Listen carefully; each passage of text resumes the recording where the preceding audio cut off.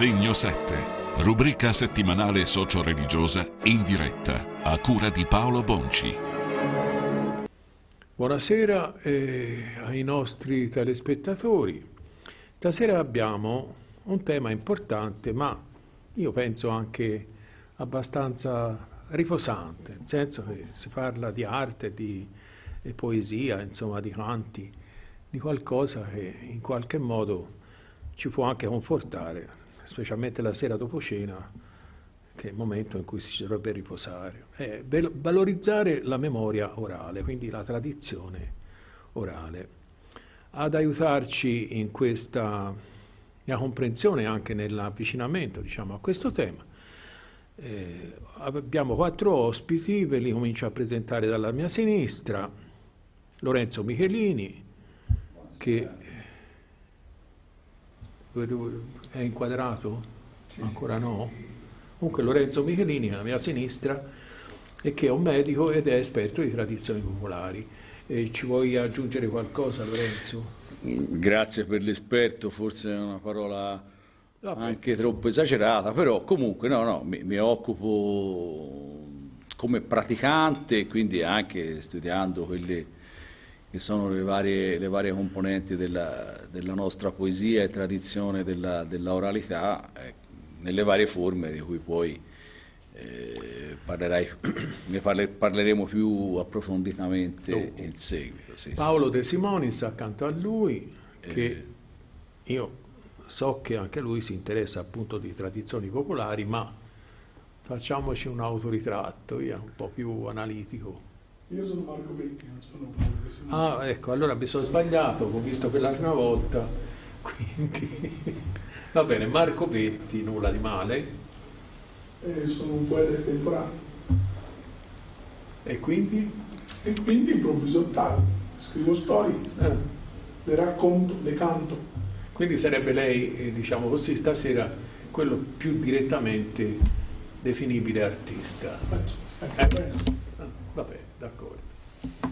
Faccio il giro, il professor Priore, noi ci si conosce, meno male se non ho sì, sbagliato. Eh, penso che Priore. anche la gente del posto mi conosca perché sono vissuto una cinquantina d'anni nel sì, Valdarno sì, a Terranova. Poi ha insegnato, addirittura insegnato, mi ricordo quando lei insegnava latino e greco al liceo classico di Ho insegnato Arezzo. al liceo classico di Arezzo, al liceo scientifico di Montevarchi e poi alla scuola media, ecco, in discesa sempre. Ah. Però andare alla scuola media mi ha aiutato molto per la ricerca sui canti popolari.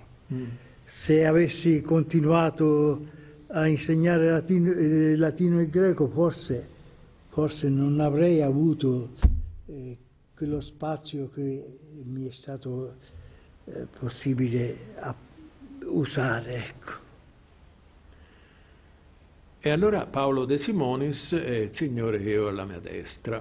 Sì, sono un fiorentino nato nella prima metà del secolo scorso, 1946, da madre contadina e quindi ho avuto in casa con, con il nonno contadino, l'ottava rima che ora eseguono Lorenzo e Marco nella loro attività di performatori. Non mi piaceva quando, quando, ero piccolo perché la sentivo lontanissima dalle canzoni che sentivo alla radio. Mi è capitato in seguito eh, all'università, laureandomi in dialettologia italiana e poi insegnando a vari livelli, anche gli ultimi anni l'ho fatti anche all'università, invece come vendetta dell'avversione infantile ci sono dedicato in termini di studio e, di ricerca proprio mh, rivalutando in tarda età quella oralità popolare che mi faceva effetto da piccolo. Ok, bene. Allora, intanto mandiamo un filmato, tanto per entrare in atmosfera. Eh, il punto su questo tema, il testo di Leonora Norti Gualdani e il montaggio di Stefano Sati. La regia è pronta? Quando si parla di memoria orale, ci si riferisce a tutte quelle conoscenze e credenze trasmesse da una generazione all'altra come patrimonio di un sapere collettivo di una comunità. Dalle epoche remote, l'oralità è stata sempre il sistema privilegiato di trasmissione del sapere, essendo il mezzo di comunicazione più diffuso, rapido ed immediato da usare perché accessibile a tutti. La tradizione orale comprende quindi forme quali narrazioni, miti, canti, frasi, leggende e favole. La storia dell'uomo è essenzialmente un percorso di conoscenze trasmesse oralmente. A livello di intero popolo c'erano delle persone, spesso gli anziani, che assumevano come compito quello di memorizzare tutti i fatti importanti avvenuti nelle generazioni precedenti e di trasferirli alle nuove generazioni. Tali fatti potevano essere i nomi dei capi che hanno governato il popolo, il loro operato e le loro gesta, le guerre oppure le calamità come alluvioni, epidemie, carestie e terremoti. Gli antichi Celti e gli anziani aborigeni codificavano le conoscenze tramite canzoni, danze, storie e luoghi. Nell'antica Grecia, invece, all'oralità era assegnato il compito di trasmettere idee e conoscenze. Alla tradizione orale è stata affidata, ad esempio, la diffusione dell'opera di Omero, inizialmente declamata e recitata e non letta. Nacque poi la figura del cantastori, intrattenitori che si spostavano di città in città raccontando una favola, una storia, un fatto come incursioni di pirati, miracoli di santi, eventi catastrofici, leggende sacre e racconti profani, meravigliose vittorie e lacrimevoli sconfitte, personaggi come Garibaldi e momenti epici come il Risorgimento. I cantastori rappresentarono l'unico tramite culturale tra il popolo analfabeta e il mondo epico e poetico. Palermo è stata la culla di un'altra figura tradizionale, oggi completamente scomparsa, ovvero il cantastorie Orbu, nato intorno alla metà del Cinquecento, anno in cui la Chiesa usava i loro racconti per diffondere storie sacre e liturgie ed avvicinare così il popolo a Dio. Ma la tradizione orale è anche quella che si tramanda all'interno della famiglia, ad ogni generazione la storia della famiglia si allunga, fino al punto che qualcuno era in grado di raccontare i nomi e i fatti importanti di decine di generazioni di antenati, con la trasmissione di generazione in generazione di segreti sui mestieri, consigli prodigiosi, ricette culinarie e tanto altro ancora. La memoria orale è dunque un prezioso bagaglio culturale e storico importante e certe volte fondamentale per ricostruire il passato in ogni suo aspetto. Bene, siamo ritornati in studio, quindi Eleonora, Leonora anzi, ha concluso con la memoria orale come fonte per ricostruire il passato. Vabbè, toccheremo anche questo, perché la memoria orale, prima di tutto, io penso che eh, insomma, sia da riferire a periodi in cui la scrittura mancava e quindi era una necessità. Questo bisogna ricordarselo. Io vorrei che voi, chi di voi insomma, vuole, faccia un po' una riflessione sugli antichi poemi epici, cioè Omero, l'Iliade e l'Odissea, provengono dalla memoria orale e da ricuciture di canti, come si dice una riflessione su questo. Non so se forse il professor Priore vuole sì. darci qualche contributo. Mi sono laureato sui papiri dell'Odissea di Omero.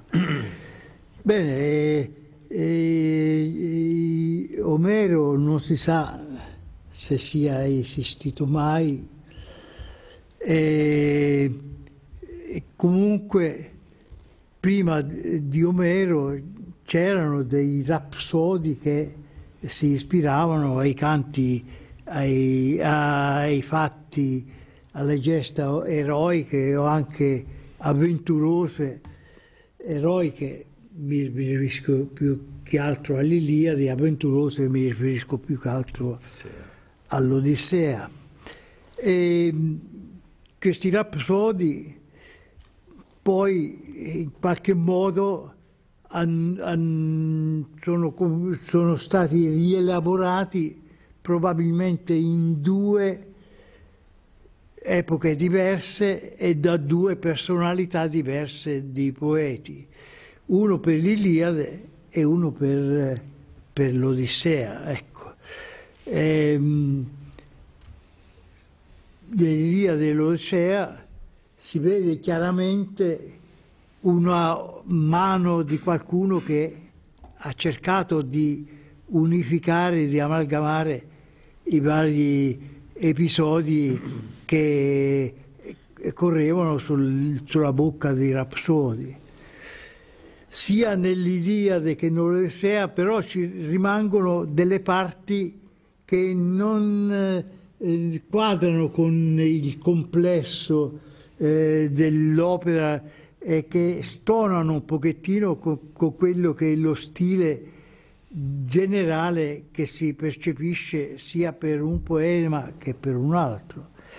Per esempio eh, nell'Iliade eh, eh c'è la Doloneia, l'episodio di Dolone che probabilmente non, è stato rielaborato proprio da, da Omero Nell'Odissea ci sono anche altri passi come quello della nequia del viaggio di, di Ulisse nel, nell'Ade.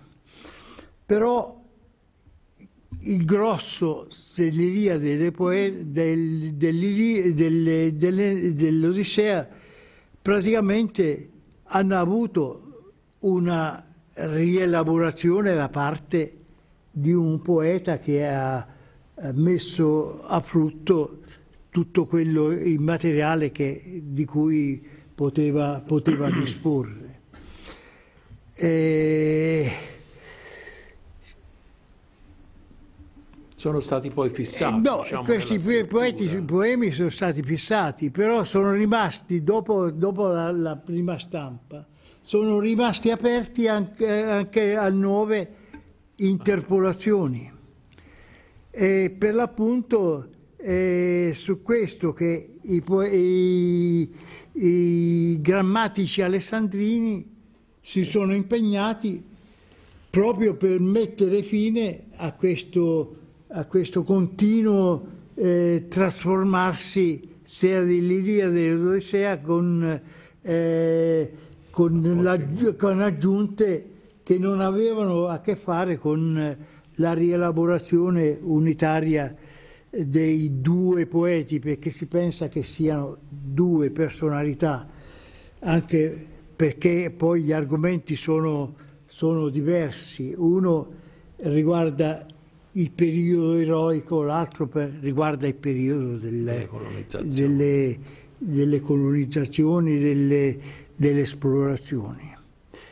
E i poeti alessandrini finalmente perlomeno hanno posto fine a questo eh, continuo eh, trasformarsi dei poeti, dei poemi che si, chissà come sarebbero arrivati a noi se non si fosse, si fosse provveduto a fermare questa libertà di inserzione nei testi. E da lì sono diventati sì. però letteratura. Diciamo. Sì, eh, sono diventati letteratura, sono una delle parti più eh, importanti della letteratura greca. Ecco, la memoria orale poi nel momento in cui compare la scrittura, insomma, non è che venga abbandonata, no? lo dimostrate anche voi, eccetera. Io eh, volevo anche tornare a quella eh, frase finale conclusiva di, della, de, di Leonora Gualdani, in cui diceva appunto che la memoria è una fonte affidabile, infatti ci sono tante opere no, che si fondano sulla memoria, i racconti, eccetera. Ma insomma, la tradizione orale, la memorialistica fondata sulla tradizione orale e basta, sono davvero fonti attendibili? Cosa, Mm, che cosa ne pensano gli storici in generale? Insomma, ecco, una fonte scritta è più attendibile di una fonte orale oppure ci sono altri, mh, mm, così, altre opinioni ecco, su questo? Lorenzo? Marco? Ma forse Paolo. Paolo Provo scusa. a dire, ma chiamando eh. in causa voi, cioè, cerco di mettere insieme Iliade, Odissea e anche questo tema della veridicità, dell'attendibilità delle fonti orali partendo da Lorenzo e Marco che sanno che io li invidio, sono invidioso omaggio della loro capacità di improvvisazione poetica. E quindi mi sono chiesto quando ho visto questo riferimento a Iliade e Odissea, Perché c'è bisogno di dire che la tradizione orale, anche quella contadina, toscana, ha questi antenati così illustri? Quando si va a cercare antenati illustri è perché forse non siamo sicuri di quel che siamo noi. Io stimo Lorenzo e Marco anche se Omero non c'entrasse nulla. E quindi ritorno su, questo elemento indicativo, è come un sintomo, cioè dire che discende da, uh, da poeti straordinari dell'antichità classica più remota, è un segno importante perché è come se dimostrasse una sorta di complesso di inferiorità sostanzialmente. C'è bisogno, eh, spesso capita che uno vada e spenda anche in ricerche araldiche per avere un antenato importante, ah, perché beh. vuol dire che lui personalmente non è tranquillo. Io su questo uh, ho dei dubbi, cioè mi sembra proprio che andrebbe rovesciata la, la cosa. Il fatto di cercarlo nel passato il, il, valore impedisce di cogliere il valore reale della contemporaneità, di quello che Lorenzo e Marco sanno, sanno, fare benissimo, anche se non avessero mai letto niente di Omero o. Questo è uno dei dati. Eh, e anche la superiorità della scrittura. No? Eh, nel senso comune una, una cosa scritta è bloccata, è stabile, l'oralità eh, fluisce, non si capisce dove va. Dopo verrò al discorso della storia, ma già anche nella letteratura. È bene ricordarsi che nella filosofia greca Platone ha scritto cose importanti, direi, contro la scrittura. In che senso? Che quando loro due si sfidano a, a duello, creano un dialogo, una, una dinamica continua di idee, concetti, creatività, che sono sempre in divenire. Una volta messe su scrittura, diceva Platone, si fanno due Mm, si perde due cose. Intanto si, si perde la vivacità del dialogo. Eh, diceva Platone, una cosa quando è scritta non può più rispondere a chi la interroga, ormai è stata scritta, è morta per certi versi, è fissata. non può interloquire. È, è un paradossino. E l'altro è quello della perdita della memoria, cioè se uno affida la sua memoria allo scritto, rinuncia a guardare in se stesso al suo interno. Quindi per dire in sostanza che il rapporto fra eh, importanza e verità, fra oralità e scrittura è più complicato, anche perché poi nel tempo questo rapporto si è ulteriormente complessificato, cioè non soltanto Omero è diventato letteratura scritta, ma sappiamo benissimo che eh, i, i, grandi della nostra letteratura nazionale, appunto Dante, Ariosto e Tasso, sono stati scritti, ma sono stati anche poi imparati a mente dalla scrittura, sono stati pubblicati su robetta, insomma, opuscoli, fogli volanti, quindi c'è stato un, un continuo ricambio in, in, in, in sostanza, è importante. Sulla attendibilità poi c'è un'altra cosa classica, è una, un dibattito che è in corso d'opera da un 20 30 anni circa questo del duello in storiografia e in antropologia culturale, io eh. mi occupo di antropologia culturale, eh, sulla, sulla, veridicità, lo si può porre anche in un altro modo. Noi siamo qui, eh?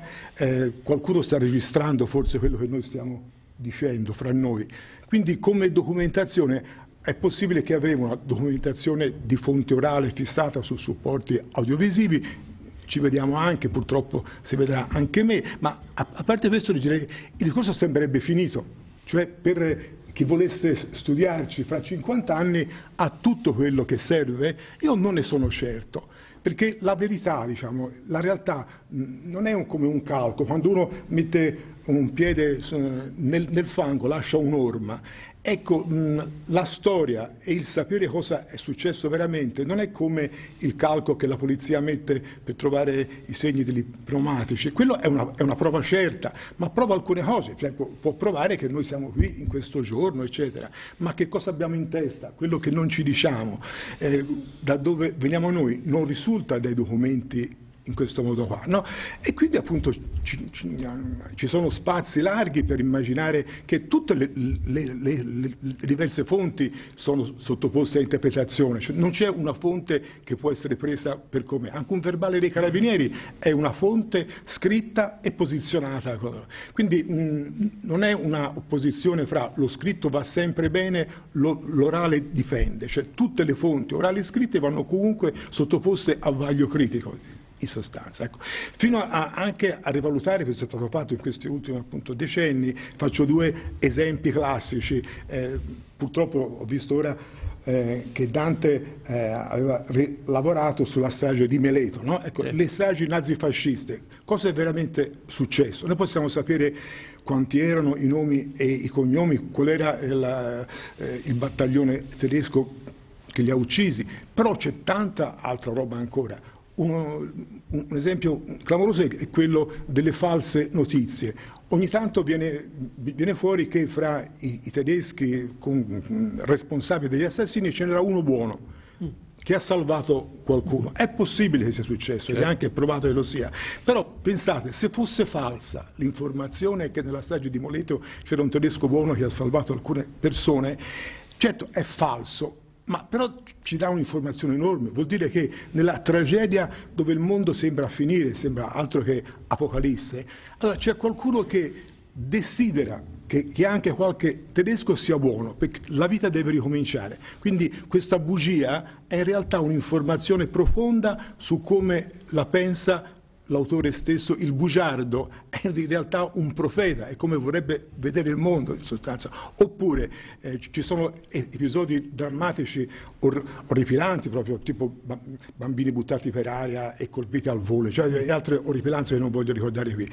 Eh, ci sono appunto dei psicanalisti che hanno osservato che mh, accade questo, quando c'è appunto un dramma si dice indicibile, quando mh, non, cioè dice, non ci sono parole per dirlo. Allora sì. C'è gente, c'è gente, viene fatto di, per poter dire qualcosa, per non stare zitti, ci si riattacca a cose già sentite prima, cose già sentite della prima guerra mondiale, miti, leggende, fiabe, perché allora questa cosa che, che ti pesa trova uno sbocco di comunicazione possibile. Sono due falsità, diciamo, no? Quindi sono inattendibili se uno vuole sapere chi quel giorno lì ha ucciso chi, però ci informa in modo più largo e più profondo sull'umanità. Ecco, questo in sintesi estrema, ma la faccenda al solito è più complicata. Sì, la sintesi estrema lei ha toccato in maniera molto, diciamo, direi, colta anche il tema dell'attendibilità delle fonti. A parte io sono perfettamente d'accordo con quello che lei diceva, però non conta nulla il fatto che sia d'accordo. Eh, era un, il problema della verità, no? della verità storica. Se lo poneva anche Manzoni, no? questo fatto che la psicologia del personaggio, eh, quello che c'ha dentro, il, i, i, gesti, tutto quello che può contraddire quello che è scritto in un documento, effettivamente può venire fuori in una forma d'arte di questo tipo, nei canti popolari o insomma dell'esposizione, quindi è un falso problema quello di porre eh, il verbale dei carabinieri come fonte del tutto veritiera rispetto a un racconto di un vecchio contadino che racconta un'esperienza sua magari della seconda guerra mondiale. Ci dicono cose diverse. Ecco, ecco sì, perlomeno sono, sono complementari. Eh. Perché, io insomma, vorrei dire un'altra cosa pure. Poi si va un po' da loro, se no che gli storici ufficiali a volte eh, falsano la realtà dei fatti che ricostruiscono. La falsano proprio con l'attiva coscienza della eh, malafede? Può capitare anche questo. Sì, ma può capitare, quello è un fatto, diciamo, e comunque, comunque eh, per fare storia, dico, non bisognerebbe solamente eh, risalire alle radici dei fatti, ma anche vedere quali sono state le reazioni emotive della gente che ha vissuto quei fatti. E i poeti popolari proprio questo aspetto ci mettono la dimensione luce. emotiva, diciamo, fa parte del A proposito dei eh. fatti di Meleto, se posso, certo. vorrei leggere, tanto è breve, una mm, ballata di cantastorie di un cantastorie di Vaggio che, che ha, ha, ha scritto eh, a, a, si è improvvisato poeta so, dopo la fine della guerra assieme a tante altre persone anche per eh, reagire a quella specie di cappa che era stata loro imposta dal fascismo perché i, i, i poeti popolari, quelli dei, perlomeno dei cantastorie, non potevano toccare certi argomenti, dovevano adattarsi a, a quello che permetteva il regime. Eh, certo. ecco. Professore, scusi, eh, po potrei, si può rimandare a un momento esatto, successivo, esatto, così esatto. interpello loro su un'altra cosa, cioè sul genere, perché se no si completa la prima parte. Certo. Cioè i generi della tradizione orale popolare. Quali sono, cioè come, descriveteci un po' questa esperienza, come è fatta questo tipo d'arte, perché insomma non tutti lo sanno. Per esempio so che si tratta di improvvisazione, sempre sì. poi di relazione con il pubblico particolare, forse si va sulla scia emotiva anche, no? certo, sì, sì. e poi lo stile formulare, quello c'è già nei canti omerici, insomma, perché, perché c'è questo stile delle formule? per facilitare un po', no? De, sì, ora eh, su questo argomento sicuramente il professor Priore e il professor De Simonis ne, ne possono approfondire molto, sicuramente molto meglio di quanto possa fare io. Però un attimo... No, no, no, ma perché pensavo un attimo al discorso della verità, mi ha fatto venire in mente che eh, nel mondo letterario, ma anche nel mondo scientifico, ormai è risaputo che l'osservatore in qualche modo implica un cambiamento del fatto che va a osservare, anche semplicemente osservando un batterio a microscopio in un comportamento, c'è un cambiamento, quindi la verità, la verità assoluta, se c'è, non è dato. Questo Forse... è un difetto secondo me, tra parentesi e poi eh, mi, mi taccio, è un difetto anche di certa scienza oggi. Per cui la, la, comunicazione televisiva è tale, per cui siamo arrivati qui, la scienza ha detto, ha detto, ma la scienza non è un, un ambito in cui c'è un metodo che è sempre aperto a qualcosa, diciamo così, di, da, da, sondare, da scoprire, quindi non c'è nulla di certo. Insomma, vabbè, chiudo.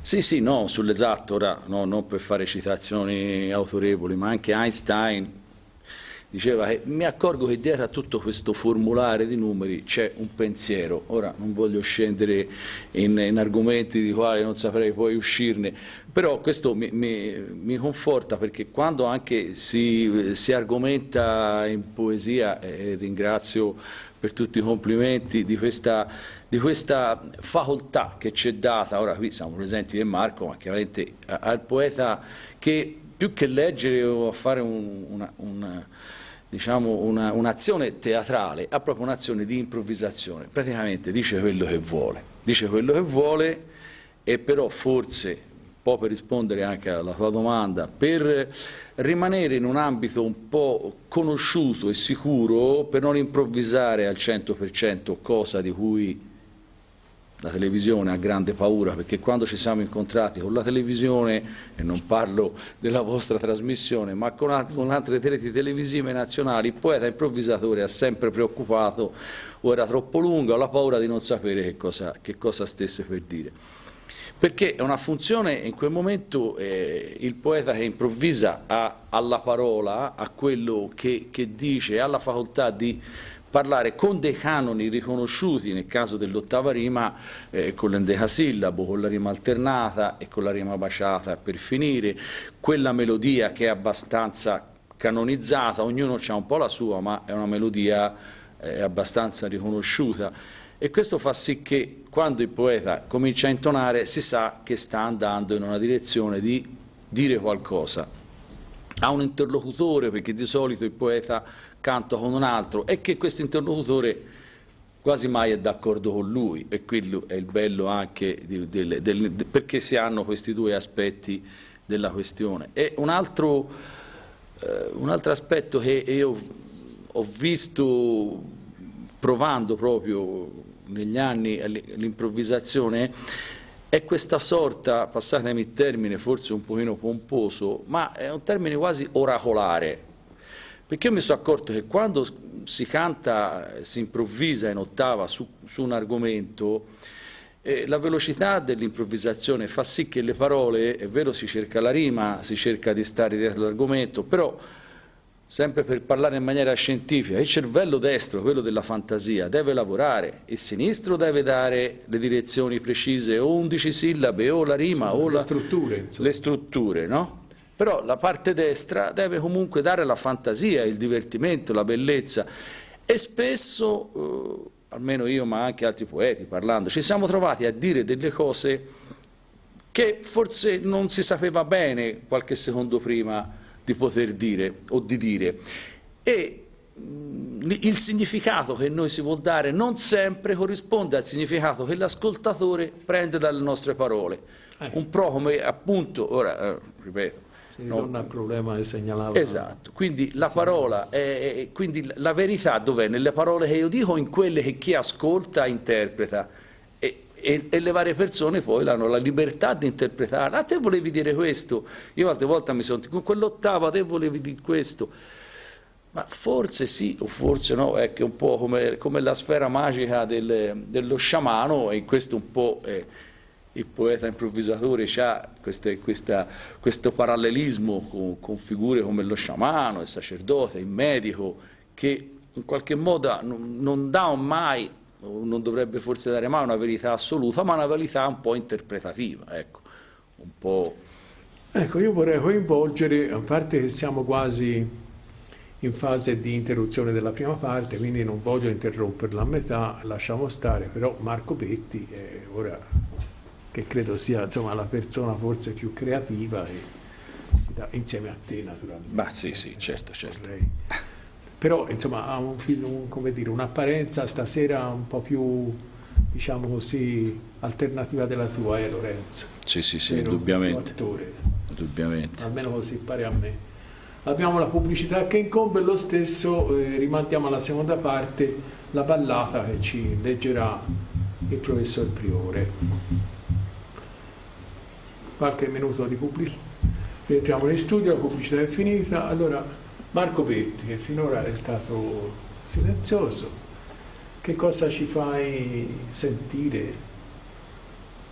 Ma posso improvvisare un'ottava o posso... Ecco, dacci un esempio pratico di che cosa... Facciamolo un esempio di un'ottava, che sono otto versi ben rimati.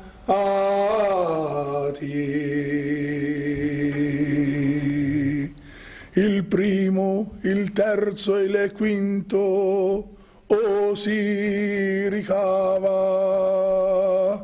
il secondo, il quarto e il sesto sono attaccati.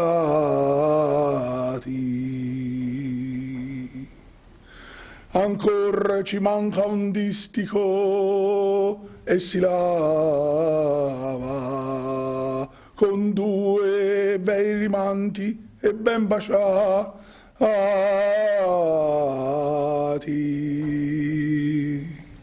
e gli ultimi e tutti gli otto versi che ho fatto. Hanno undici sillabe pescato. E questa è un'ottava. Sono otto versi in decasillabi detta in prosa il primo, il terzo e il quinto rimano tra loro secondo, quarto e sesto e gli ultimi e due. creando diciamo così eh, diciamo specie di, di, di canto popolare, insomma ci ha spiegato che cos'è l'ottava in un'ottava mi pare, no? Sì, ho, ho spiegato cos'è l'ottava in un'ottava, è un, una delle ossature, ecco, diciamo, di questo dialogo a cui accennava Dianzi E l'ottava, Marco, perché l'ottava? propriamente l'ottava è caratteristica di questo tipo di canto. Ma l'ottava è... è tipico anche della letteratura, dei poeti, eh, come dire, raffinati, dotti, no? L'ottava è secondo me una, la stanza narrativa per eccellenza. Sì, si chiama anche stanza infatti. In otto versi si possono dire tante cose. È un, un, uno spazio nel quale si può argomentare tante cose, non è l'unico metro che usa la poesia popolare perché per dire si possono improvvisare eh. delle terzine, delle quartine, si possono improvvisare delle sestine. Per il popolo poeta canta storie, ottava rima, sestina, terzina, erano tutte storie, era tutta poesia, non, non faceva questa eh, differenza. Però i poeti preferiscono improvvisare in ottave perché hanno appunto nel contrasto più possibilità di argomentare, di portare acqua al proprio mulino e la gente ha modo di ascoltare tante cose e in queste cose di riflettere su quello che il poeta propone, perché quando due poeti contrastano semplicemente propongono delle soluzioni possibili a problemi comuni, perché il pubblico si scalda quando il tema è sentito, per cui è il pubblico che chiede il tema e chiede generalmente temi eh, di attualità, ora come ora vanno di moda, che ne so, Salvini e Di Maio per esempio, mm. eh, ma, ma, possono andare di moda la Juventus e il Napoli, ecco, insomma, eh, parlare di cose che riguardano tutti perché tutti ne siano partecipi. Era bello quello che diceva di Anzi Paolo De Simonis quando diceva che quando non hanno parole per dire le cose ricorrono a parole che hanno già sentito e la potenza della poesia, al di là di quello che si dice, è questo veicolare di parole per cui dai l'appiglio a chi ha un malessere interiore, a chi ha un'angustia e non ha le parole per dirlo, per cui ne soffrirebbe di potersi attaccare a, alla, alle parole del poeta e poterlo ridire magari con parole altre. Per questo noi, io e Lorenzo, siamo tornati ora dalla Maremma dove si è cantato il maggio per due giorni, si sente anche dalla voce che oggi... La Maremma dove? Mi ritrovo nella zona di Supereto, per cui la bassa ah, sì, provincia di Livorno, dove i poeti sono attesi a gloria perché hanno questo particolare dono di portare questo eh, ben augurio, di scacciare diciamo, il malocchio, eh, di, di favorire i frutti, eh, di scacciare la mala sorte. E, guai se si entra nelle case e non si cantano eh, delle ottave. Proprio io mi sono trovato a una discussione fra poeti in cui si recriminava sul fatto che davano troppo spazio ai maggerini che cantavano le canzoni e davano poco spazio ai poeti. Per cui la funzione del canto popolare in sostanza è questo, più di sapere che magari Marco ha tirato il collo a Lorenzo e è finito in galera, è più un discorso morale per cui dice guarda se ti comporti così poi ti succede questo, sei sicuro di volerlo fare, ma se lo vuoi fare fallo. È per questo che poi ogni paese si accaparra la paternità di un fattaccio e ogni per popolo... Poterci, ecco, recuperare sopra insomma.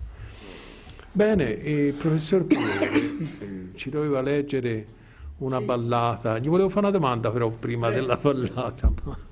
Una domanda a proposito di quello che diceva eh, Marco, ma in questo momento me ne ricordo più. Mi era venuta a mente, allora ci legga la ballata e poi se mi riviene in mente gliela faccio. Ecco, la ballata è stata composta da un poeta di, di Baggio, sì uno dei tanti poeti che dopo la fine della guerra, dopo il passaggio del fronte, si sono improvvisati poeti.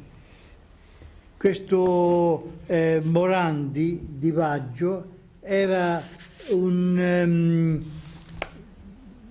falegname e ha sentito il bisogno di cantare ispirandosi ai fatti che erano successi in, nella zona di Capriglia dove i tedeschi operarono eh, eh un, un, eccidio veramente, veramente grave.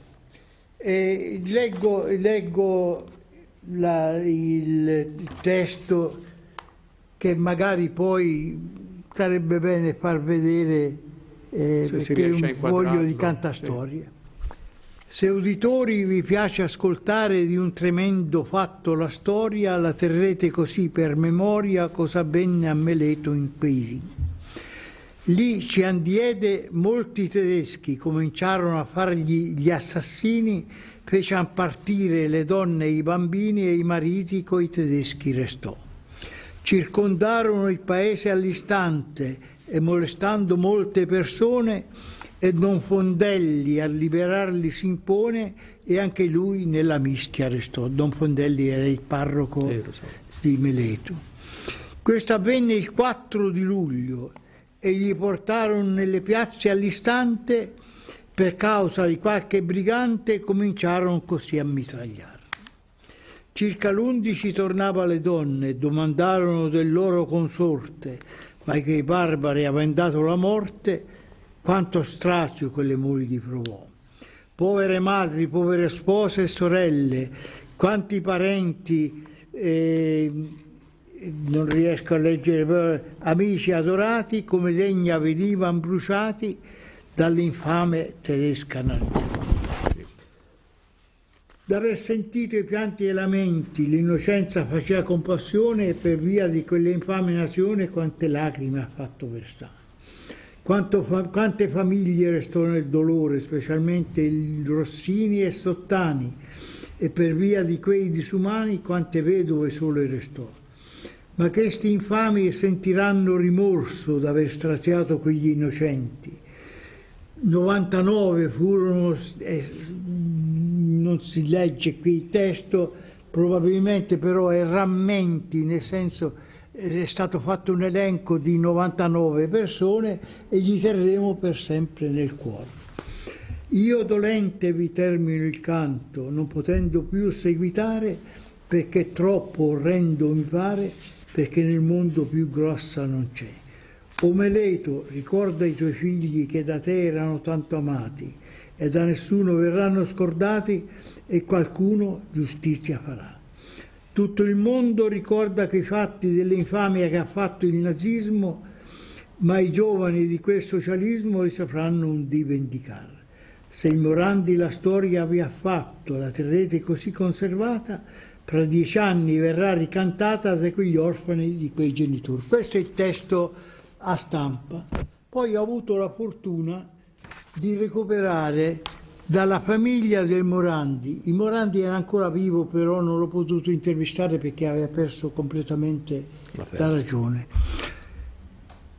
Una, una, registrazione che ho pubblicato pure assieme a uno dei miei volumi sui canti popolari, in cui il Morandi riprende questo testo, però aggiunge delle cose particolari. Sottolinea la responsabilità dei fascisti per quello che era successo.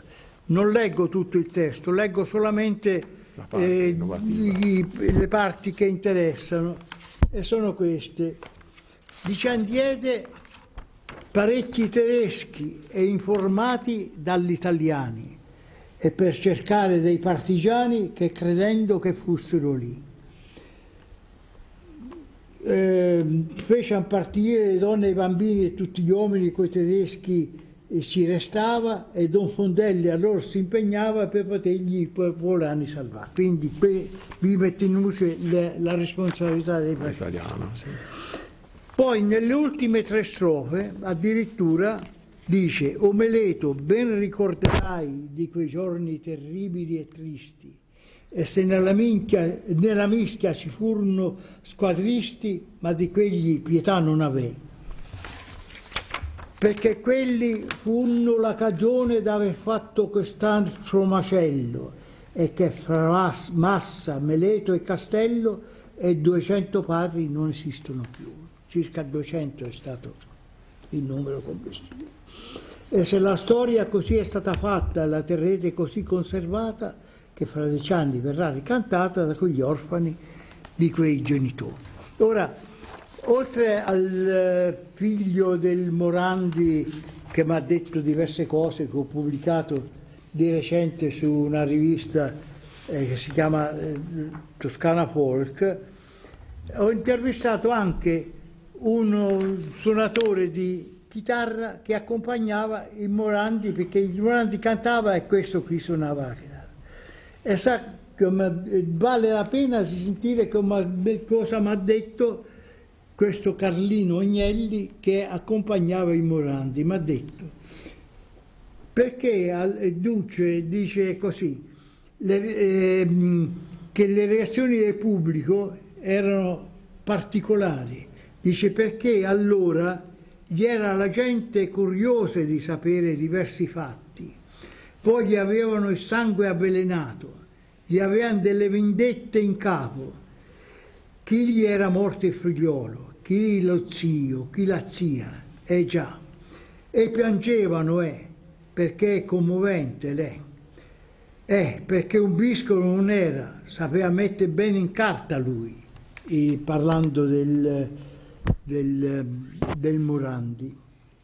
E ha detto pure che questo Morandi però a un certo punto lui l'ha lasciato perché era troppo preso dal suo coso. Se una, una persona singola gli chiedeva di ricantare. Lui lo, lo, accontentava, si sentiva, e dice però in questo modo non si, eh, non si raccattava niente.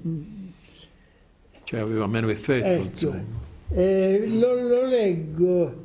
Eh, sì. Si è fatto delle fiere, dei mercati in queste feste e poi ci, amava, ci chiamavano di qua e di là, ma un lungo tempo no, per cui lui era un po' strambo, inteso per queste cose. Senza litigare si divise la roba, si divise il materiale e ognuno prese la sua. Va bene, perché lui ci metteva troppo a spiegarle queste storie, questi affari. Invece gli dissi, questi affari che qui è, eh, non vanno spiegati a persona a persona, bisogna spiegargli dove c'è un nucleo di persone. Lui invece si metteva, anche se trovava una donna, si metteva a cantargli quei fatti lì, ma no, eh, non va bene. E questo è il Lognelli che ricorda l'entusiasmo e la partecipazione di questo Morandi che non era uno storico, però non dice niente di, di, di diverso da quello che risulta a proposito dell'eccidio dei tedeschi e delle, e, della, e delle responsabilità anche di fascisti, perché io ho fatto una ricerca lì, mi pare che alcuni fascisti abbiano accompagnato eh, i tedeschi.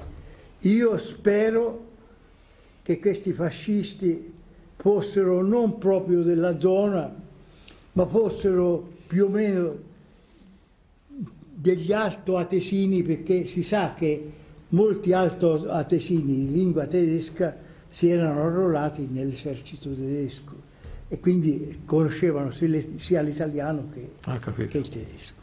Ebbene, scambiati per Mi dispiace di non poter eh, continuare perché so che non posso monopolizzare no, il però tempo. ha messo però, in evidenza eh, il punto su vale cui si la pena però di, di, di, tener conto che questo Morandi si è informato e poi via via eh, naturalmente la gente a cui cantava gli avrà detto ma guarda c'erano anche fascisti eccetera eccetera e via discorrendo e ha fatto da fonte anche emotiva non solo razionale le vostre esperienze recenti, Lorenzo? Dunque, come, come parlava Marco, eh, siamo stati a cantare, a cantare il maggio, questa antica tradizione sulla quale andrebbero fatte diverse trasmissioni per poter un po' parlare. Però un'altra, un'altra cosa importante che stiamo facendo eh, sono diciamo, dei laboratori nelle, nelle scuole laboratori sull'ottava rima e non solo sull'ottava rima ma su in genere l'oralità eh, lo stiamo facendo alla scuola media eh, di Terranova Bracciolini e all'istituto al liceo linguistico di San Giovanni Valdarno. E abbiamo preso in particolar modo sulla scuola Terranova Bracciolini stiamo facendo un lavoro che è sulla tradizione popolare, sulla, mm, su una rielaborazione dei promessi sposi con la metrica, una metrica particolare di una rappresentazione popolare eh, basandosi sugli, sugli, studi e sulle raccolte numerosissime del professor Priore, sulla zinganetta che era una forma particolare di rappresentazione ci siamo permessi di riscrivere con la formula metrica della zinganetta i promessi sposi, quindi attenendosi a quelli che sono i programmi scolastici della, delle medie e cercando di cioè, eh, sicuramente coinvolgendo i ragazzi in una rappresentazione tra lo studio delle, delle tradizioni, la memoria, l'imparare a memoria e anche vedere, e questo ne abbiamo, ne abbiamo avuto riscontro l'altro anno, che impersonando, prendendo parte attiva alla narrazione della, della storia,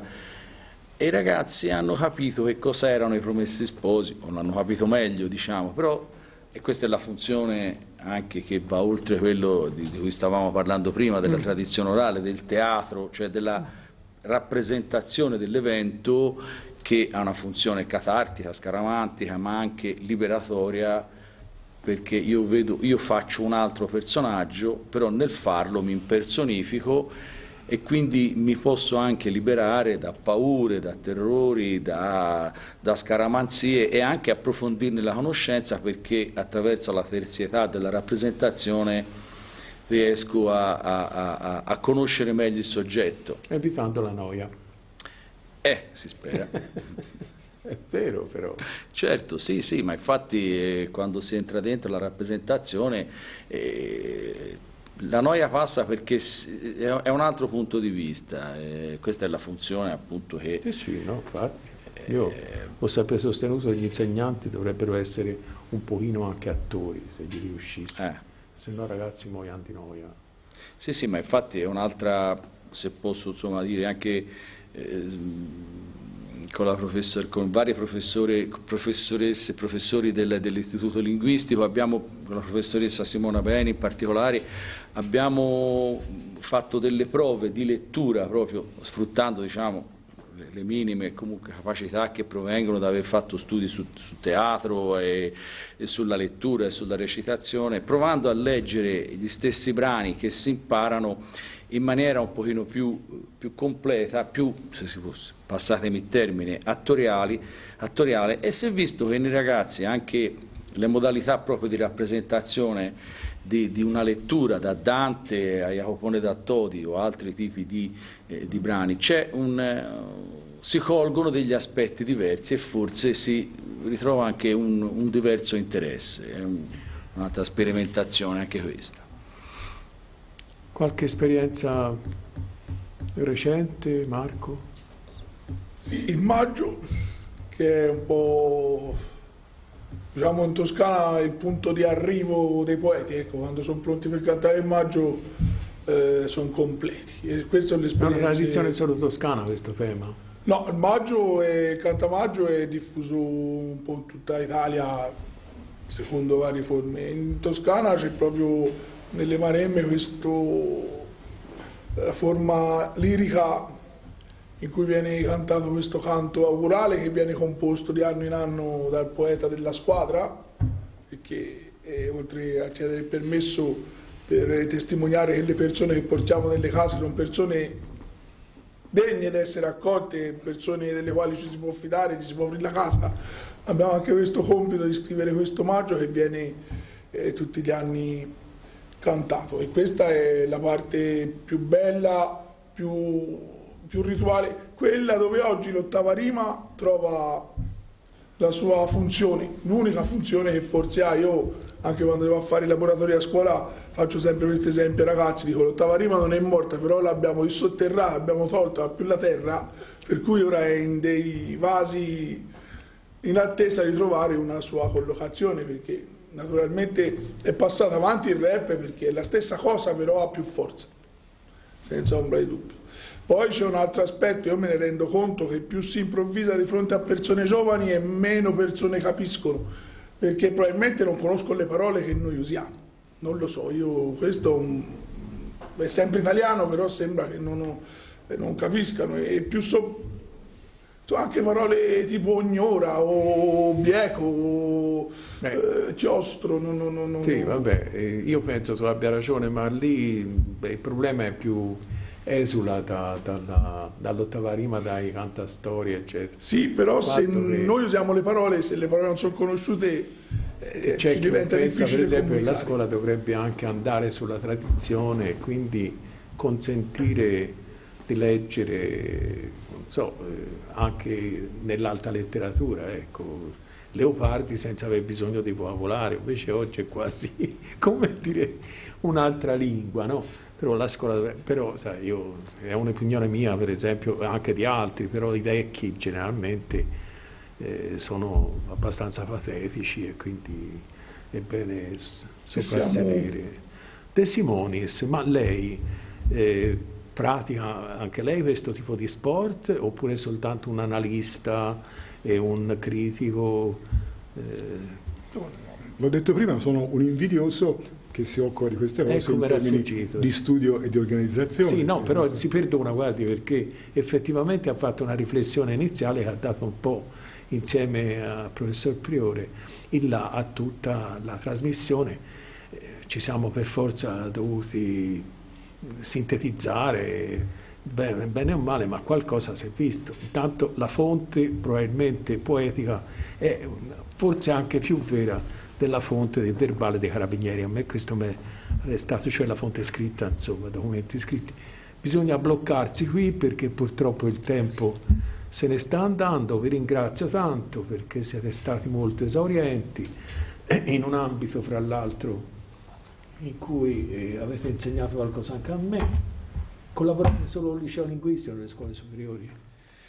No, per il momento sì, abbiamo fatto anche... Liceo linguistico, scusa, è un momento di vanità, ma l'ho creato io. Eh. Ecco. 1989. Ah, allora io vi, vi, vi, lascio a memoria di questo incontro queste piccole riflessioni sulla annunciazione Angelico che c'è a San Giovanni. Grazie. Lo passo bene. Riflessione sulla, sulla pittura. Bene, a questo punto, dopo avervi ringraziato tanto, speriamo di rivederci un'altra volta toccando qualche eh, tema un pochino più specifico. Devo annunciare appunto, fare i consueti annunci agli spettatori, a chi ci segue, le repliche continueranno con il loro consueto orario del sabato e la domenica. Segno 7 News va in onda il venerdì, il sabato e la domenica nell'orario consueto, alle 17.30, a mezzogiorno e 10 il sabato e la domenica alle 9.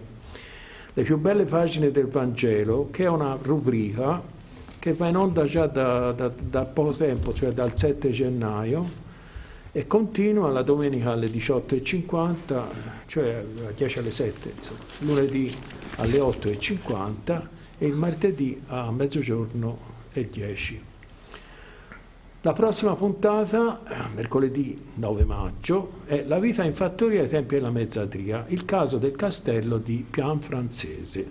Siamo nella zona di Meleto, insomma, un po' più là. Gli ospiti sono Alessandro Gambassi, Vasco Ferrini e Gabriele Begliomini.